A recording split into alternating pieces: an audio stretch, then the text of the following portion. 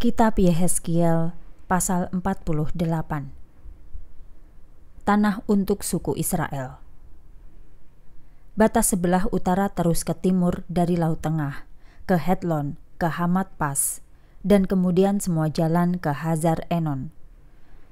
Itulah pada perbatasan di antara Damsyik dan Hamat. Tanah untuk kelompok keluarga dalam kelompok itu terus dari batas-batas timur sampai ke barat – dari utara ke selatan. Kelompok keluarga dalam daerah itu ialah Dan, Asher, Naftali, Manasye, Efraim, Ruben, dan Yehuda. Bagian khusus dari tanah itu. Daerah berikutnya dari tanah itu adalah untuk keperluan khusus. Tanah di selatan adalah tanah Yehuda Daerah tanah itu 12.500 meter panjangnya dari utara ke selatan. Dari timur ke barat, selebar tanah milik suku-suku lainnya. Rumah Tuhan akan ada di tengah-tengah tanah itu. Kamu akan menyerahkan tanah itu kepada Tuhan yang panjangnya 12.500 meter dan 10.000 meter lebarnya. Daerah khusus itu akan dibagi di tengah-tengah imam dan orang Lewi imam-imam akan memperoleh satu bagian dari daerah itu. Tanah itu 12.500 meter panjangnya pada bagian utara, 5.000 meter lebarnya pada bagian barat, 5.000 meter lebarnya pada bagian timur, dan 12.500 meter panjangnya pada bagian selatan. Bait Tuhan akan ada di tengah-tengah daerah itu. Tanah itu adalah untuk keturunan Zadok mereka telah dipilih menjadi imam-imamku yang kudus, karena mereka terus melayani aku, ketika orang Israel lainnya telah meninggalkan aku. Keluarga Zadok tidak meninggalkan aku seperti orang lain dari suku Lewi. Bagian khusus dari bagian tanah yang kudus itu khusus bagi imam yang berdekatan dengan tanah orang Lewi. Dekat ke tanah milik imam, orang Lewi akan mendapat bagian dari tanah itu panjangnya 12.500 meter dan 5.000 meter lebarnya. Mereka akan memperoleh sepanjang dan selebar tanah itu. 12.500 meter panjangnya dan 10.000 meter lebarnya. Orang Lewi tidak akan menjual atau memperdagangkan apa pun dari tanah itu. Mereka tidak dapat menjual apa pun dari tanah itu. Mereka tidak dapat memotong sebagian dari tanah itu karena tanah itu milik Tuhan itu adalah khusus.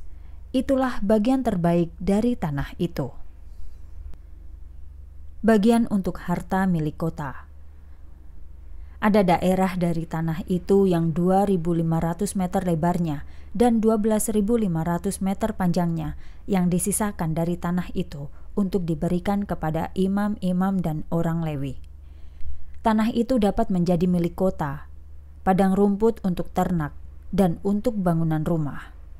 Orang banyak dapat memakai tanah itu. Kota akan ada di tengah-tengahnya. Inilah ukuran kota. Sisi sebelah utara 2250 meter. Sisi sebelah selatan 2250 meter. Sisi sebelah timur 2250 meter. Sisi sebelah barat 2250 meter. Kota itu memiliki padang rumput. Padang rumput itu 125 meter di utara dan 125 meter di selatan. 125 meter pada bagian timur dan 125 meter di barat. Yang masih sisa dari panjangnya sepanjang daerah yang kudus ada 5000 meter pada bagian timur dan 5000 meter di bagian barat. Tanah itu sepanjang sisi daerah kudus tanah itu menghasilkan makanan untuk para pekerja kota. Para pekerja kota mengerjakan tanah itu. Para pekerja datang dari semua suku Israel. Daerah khusus tanah itu menjadi empat persegi, 12.500 meter panjangnya dan 12.500 meter lebarnya. Kamu harus memisahkan sebagian dari daerah itu untuk keperluan khusus satu bagian untuk imam-imam, satu bagian untuk orang Lewi, dan satu bagian untuk kota. Bagian tanah yang khusus itulah untuk raja. Tanah khusus itu empat persegi. 12.500 meter panjangnya dan 12.500 meter lebarnya. Bagian tanah khusus itu adalah untuk imam, orang Lewi, dan untuk bait Tuhan. Rumah Tuhan itu ada di tengah-tengah tanah itu. Tanah selebihnya adalah milik raja negeri itu. Raja akan memperoleh daerah di antara tanah Benyamin dan tanah Yehuda. Bagian selatan daerah khusus itu untuk suku yang tinggal di timur Sungai Yordan setiap suku akan memperoleh sebagian tanah mulai dari batas timur sampai ke laut tengah. Dari utara ke selatan terdapat suku Benyamin, Simeon, Isahar, Zebulon, dan Gad. Batas selatan tanah Gad terus mulai dari Tamar ke mata air Meriba dekat Kadesh, kemudian sepanjang sungai Mesir ke laut tengah dan itulah tanah yang kamu akan bagi di tengah-tengah suku Israel. Itulah yang akan diperoleh setiap kelompok. Demikianlah firman Tuhan Allah.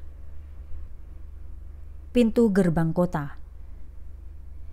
Inilah pintu-pintu gerbang kota. Pintu gerbang itu dinamai menurut suku Israel. Bagian utara kota panjangnya 2250 meter di sana akan ada tiga pintu gerbang, pintu gerbang Ruben, pintu gerbang Yehuda, dan pintu gerbang Lewi. Bagian timur kota panjangnya 2250 meter. Di sana ada tiga pintu gerbang, pintu gerbang Yusuf, pintu gerbang Benyamin, dan pintu gerbang Dan. Bagian selatan kota panjangnya 2250 meter. Di sana ada tiga pintu gerbang, pintu gerbang Simeon, pintu gerbang Isahar, dan pintu gerbang Zebulon. Bagian barat kota panjangnya 2250 meter. Di sana ada tiga pintu gerbang, pintu gerbang Gad, pintu gerbang Asher, dan pintu gerbang Naftali. Panjangnya sekeliling kota 9000 meter. Mulai dari sekarang, nama kota itu Tuhan ada di sana.